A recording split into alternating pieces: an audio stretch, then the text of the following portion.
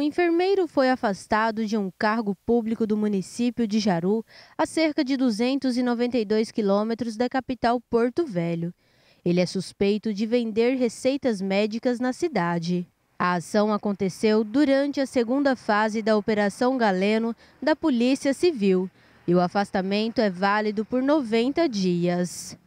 As investigações apontam que o homem furtava, carimbava, falsificava a assinatura dos médicos e vendia as receitas para farmacêuticos da cidade.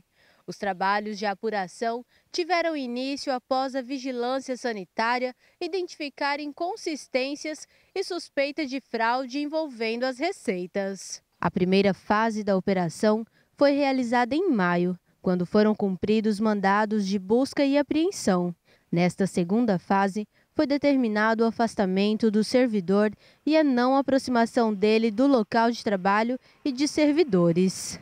Ainda foi definido que o suspeito vai usar tornozeleira eletrônica e que está proibido de se afastar da cidade, pois foram verificados indícios de suspeita de fuga para os Estados Unidos.